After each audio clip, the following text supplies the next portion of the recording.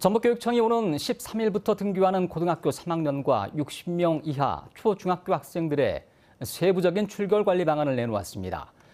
확진 학생은 물론이고 의심 증상이 있거나 고위험군 학생이 학교에 나오지 않아도 출석을 인정받습니다. 권대성 기자가 보도합니다. 등원이나 등교 일주일 전부터 학생은 건강 상태를 스스로 진단해 학교에 인터넷 등을 통해 매일 내야 합니다. 발열과 호흡기 증상, 본인과 가족의 해외여행 경력이나 자가격리 여부 등 다섯 가지로 하나라도 해당되면 등교를 할 수 없는 대신 출석으로 처리됩니다. 호흡기 증상이 있는지 꼼꼼하게 살펴보시고 조금이라도 이상이 감지되실 경우에는 학교로 먼저 전화를 주시고 가정에서 쉴 수 있도록 그렇게 꼭 협조를 부탁드립니다.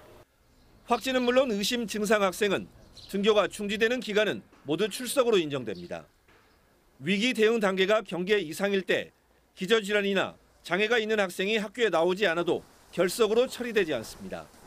다만 미리 학교장 허가를 받은 뒤 의사 소견서 등을 내야 합니다. 등교 수업 자체가 걱정되는 학생 역시 교회 체험학습을 신청해 가정학습을 하고 출석을 인정받을 수 있습니다. 위기 경보 단계가 심각 또는 경계일 때 한해서 어, 교회 체험학습을 신청한 경우는 어, 출석으로 이렇게 인정을 하고 있고요. 초, 중, 고등학교 공이 10일 학교에서 의심 증상을 보인 학생과 교직원은 곧바로 선별 진료소로가 검사를 받습니다.